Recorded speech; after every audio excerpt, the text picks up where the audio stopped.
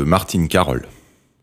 Marie-Louise Mouret, dite Martine Carole, elle fut, jusqu'à l'arrivée de Brigitte Bardot, la star française la plus célèbre et la plus populaire des années 1950. Sa rencontre avec les comédiens stars montantes du cinéma français et André Luguet, ex-jeune premier du cinéma français américain, sera le premier appel du destin. Sur les conseils d'André Luguet, elle entame une carrière en suivant les cours de Robert Manuel et de René Simon.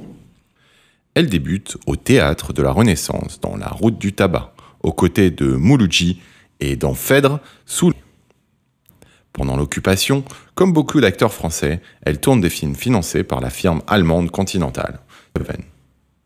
Remarquée par Henri-Georges Clouzot, elle figure dans Le Chat, adapté d'une nouvelle de Colette, film qui ne sera jamais distribué. Elle figure dans Le Dernier des Six, aux côtés de Pierre Freinet, et puis dans Les Inconnus, dans La Maison avec Rému. En 1943, Martine Carole tourne La Ferme au Loup, aux côtés de Paul Meurice. On la retrouve désormais régulièrement au cinéma où sa beauté fait merveille, notamment dans Miroir avec Jean Gabin, Les Amants de Vérone avec Pierre Brasseur Toi avec le chanteur Luis Mariano. Son nom sera associé pour longtemps au personnage qui l'a rendu célèbre, Caroline Chéry, adaptée des romans de Cécile Saint-Harine Carole, y incarne une aristocrate ravissante et déterminée qui survit à la Révolution et prend sa revanche sous l'Empire, en usant largement de ses talents de séductrice. 1954, elle épouse le metteur en scène français Christian Jacques, qui lui réserve des rôles à la mesure de sa plastique de rêve et du sexe symbole typique des années 50 qu'elle est devenue. La voit alors dans Madame du Barry, Nana, Nathalie. Elle travaille avec Sacha Guitry pour l'un des innombrables petits rôles de Si Versailles m'était compté.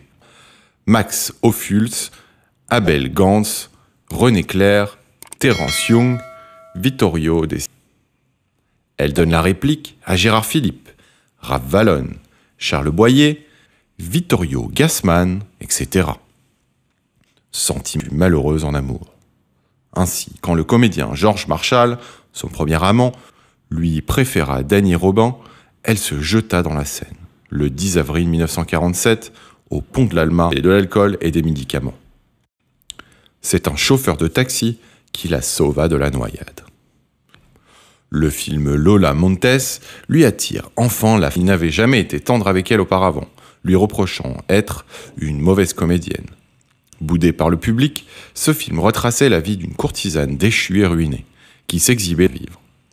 Une interprétation prémonitoire. Dans les années 60, en effet, sa notoriété commence à être battue en brèche par l'étoile montante Brigitte Bardot. Des années 60 que Martine Lay des 50s. De même, le cinéma qui fait sa gloire fait de grandes fresques à la plastique aussi impeccable qu'artificielle, et son naturalisme nonchalant. Très déprimée, elle se bourre de médicaments et s'impose des cures d'amaigrissement draconiennes. Après une inter nouveau mariage avec un homme d'affaires anglais, elle tourne son dernier film, L'enfer est vide.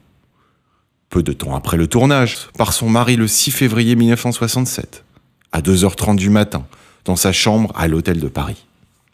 On diagnostiquera une crise cardiaque. Site circulaire, sans trouver de confirmation. Une fin tragique pour une actrice qui marqua son époque et qui occupe, depuis, une place à part dans l'histoire du cinéma. Histoire de Martine Carole. Que pensez-vous de sa vie? Faites-le nous savoir dans les commentaires et discutons-en.